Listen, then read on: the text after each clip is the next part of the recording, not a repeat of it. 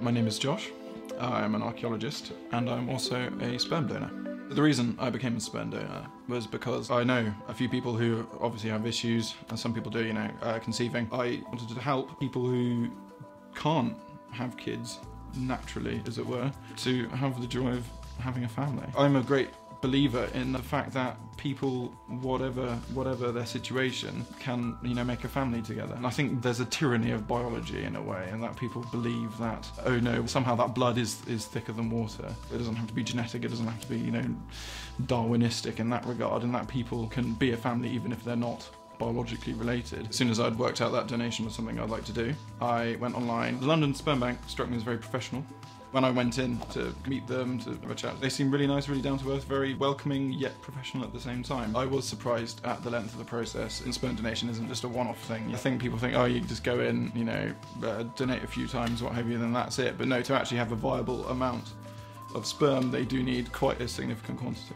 On my first visit, I went into the London Sperm Bank and I had to fill in a medical questionnaire about my family and uh, any illnesses I've had in the past and, and my medical background. and I produced a sample in a general kind of all-round um, check. I'd never obviously had a test freezing before at all, so I was quite nervous. Finding out your sperm count and the strength of your sperm, I did feel a bit nervous. Thought, oh god, you know, I hope, I hope, um, you know, my swimmers are all right. That was a relief. Second visit, did some you know, blood tests and urine sample for hereditary diseases which may not have been picked up before I started the actual donation process. This consisted of about 40 visits. The day-to-day donation process basically involved me uh, going to the clinic, getting given a vial, um, a little vial to produce into, and then I went to one of the rooms, the producing rooms I think they're called, and uh, uh, produced.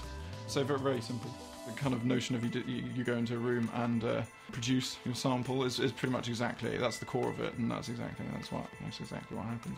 Before I started donating, I did have a few concerns. My main one, I think, was to what extent any kids that resulted from my donations, to what extent I would be responsible for them. But the law in the UK says that any sperm donor who uses a accredited sperm bank has no responsibilities for any of the children that result. So that was good. I was very reassured by that.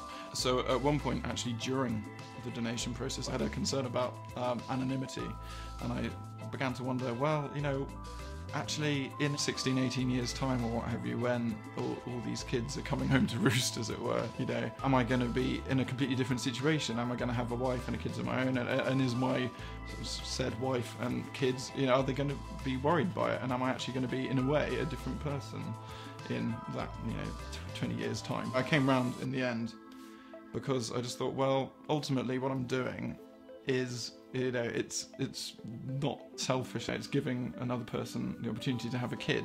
I think i would be open with any you know future partners from the get-go basically. I think communication is really critical in that regard. When donor children reach the age of 18 they get given some information about you as a donor and that that includes uh, what's called as a pen sketch. A few paragraphs you write at the time of being a donor just describing yourself and your hobbies and likes and dislikes anything really as long as it doesn't reveal who you are. I talked a bit about my life. I kind of tried to give them a little bit of advice. Uh, which is kind of very hard to do when you're talking to people in the future who aren't necessarily born yet and you don't know which gender they are. So you can actually find out um, at any time uh, how many live births you've had. The last time I checked, I have uh, two boys. Um, which is rather exciting. It made me very happy, actually. It was uh, quite a moment discovering you're a parent it was very, very moving.